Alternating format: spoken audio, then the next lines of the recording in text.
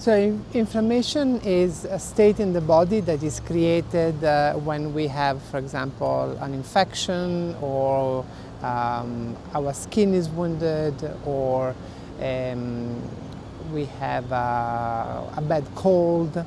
So every time that there is a virus or a bacteria in the body and then the immune system, which is basically the cells that are circulating in our body, what we call the white blood cells, defend ourselves from virus and bacteria, they get activated and they create a state of inflammation.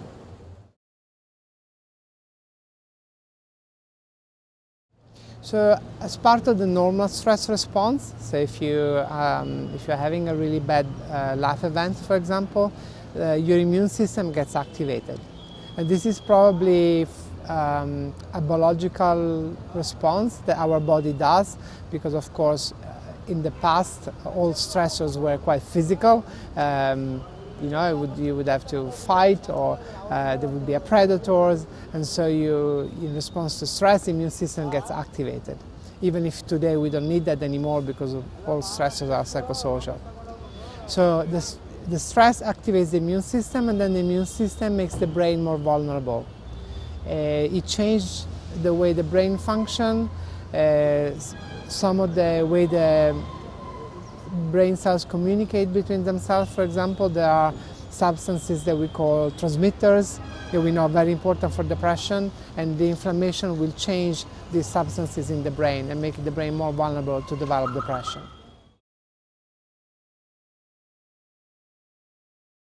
So in terms of physical health, um, if you have a chronic inflammation, you have more risk of developing cardiovascular disorder, uh, so for example having heart problem or risk of having uh, diabetes uh, or so high glucose in the, in the, in the blood or uh, having metabolic disorder, obesity or increased weight.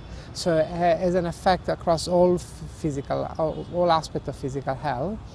And with mental health, because it makes the brain more vulnerable to depression, it basically increases the risk that if something happened later, so let's say you have another life event or a bad stress, you develop depression.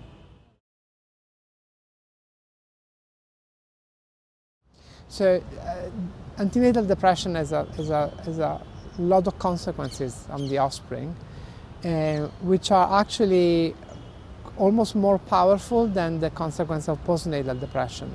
We always think about postnatal depression because of course that's when the mother and the baby communicate and if the mother is depressed the communication is not as good as you, you wish.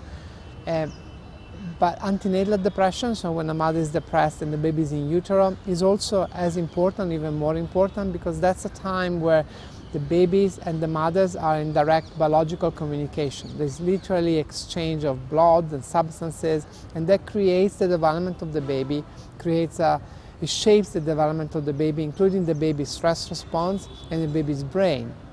So we know, for example, that if a mother is depressed in pregnancy, the, the, the baby and then the child, when it becomes a child, will be more likely to have emotional disorders. Uh, it could have more hyperactivity or attention deficit. And then when it becomes adolescent, it could be more at risk of having uh, depression or um, what we call externalizing behavior. So, for example, disruptive or difficult behavior. And later in life, we know that actually, even when become young adults, uh, those born from mothers who are depressed in pregnancy are more at risk of developing depression. So it's really a long-term effect. That's why we think it's so important to intervene early and to treat depression in pregnancy and also accept that actually uh, women who are depressed in pregnancy should not feel stigmatized and should, uh, should seek help and receive help.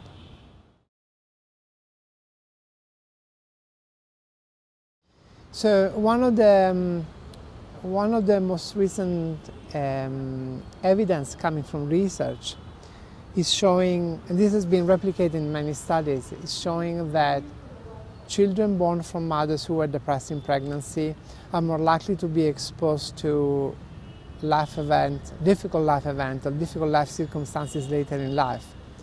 I mean, some of it is probably because uh, the mothers also lived in difficult circumstances, so the babies also live in difficult circumstances.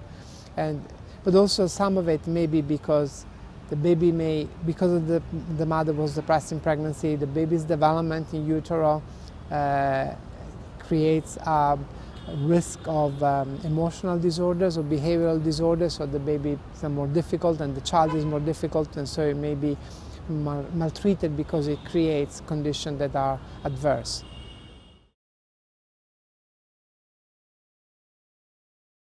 I think we need to, first of all, we need to inform mothers about depression in pregnancy, um, make sure the mothers don't feel uh, stigmatized or punished uh, because they should be happy and they feel that they can seek help. And then there needs to be a system to help them with psychological intervention or even if needed with um, antidepressants and other pharmacological intervention, of course only the more severe cases.